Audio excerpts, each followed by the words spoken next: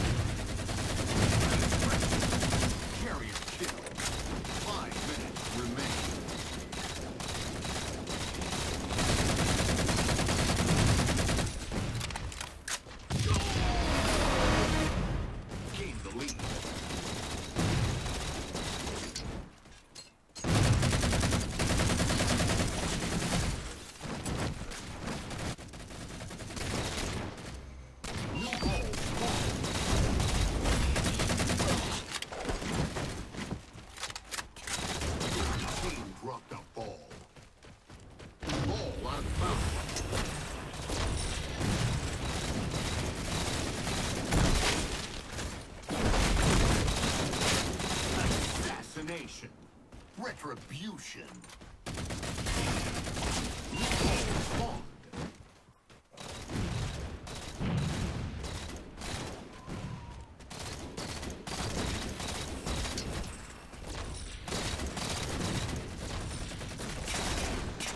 Your team dropped a ball.